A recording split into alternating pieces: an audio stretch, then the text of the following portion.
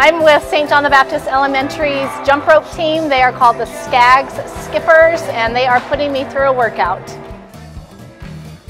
The first time I came into jump roping, I could just barely jump probably five or 10 times. Our fourth and fifth graders have been so patient with me. They're now teaching me tricks and they even asked me in the halls the next morning if I went home and practiced um, after school each evening.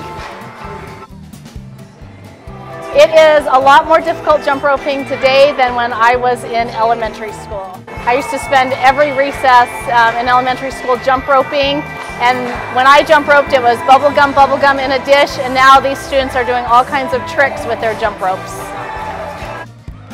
And this group of students has just become really active. They're fit, they've lost weight, they, they love jump roping. So it's important for our health and our hearts to continue being fit.